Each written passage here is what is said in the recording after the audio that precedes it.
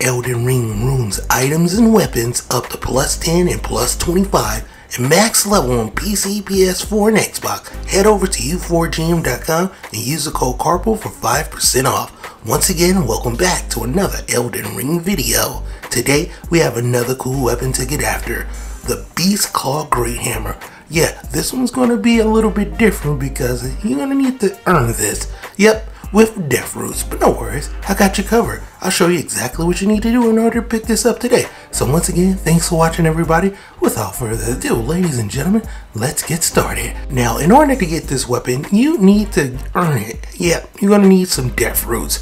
And in order to get this, you need to head over to Gurranq the Clergyman. Well, how do you get there? You need to first head over to the Third Church of Marika from the very first steps it's a rather short and easy place, and you should have known what this is. But if you knew, no worries, I got you covered. Head to the Third Church of Marika. There is a teleporter over here that you can use that's going to spawn you right near here to the Greyoll's Dragonbarrow. From here, head into the doors. You're going to be at the Bestial Sanctum. And behind that door will be the dude, Gurranq. And he is the clergyman, and he eats death roots. Now, in order to get this weapon, you're going to have to give him seven death roots. So yeah, as you are playing and you see those death roots pop up, this is your chance to bring them back to him. And after you give him the death root, he's going to have a little dialogue with you. He to tell you to feed him, or he's going to give you a nice reward. On the seventh death root, you're going to get the Beast Claw Great Hammer.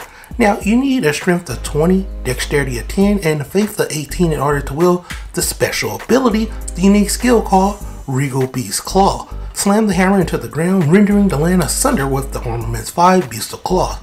This is also another reward that he can give you as an incantation. So let's do some testing right here against some smaller ads at the gate fronts and oh boy, does it do work.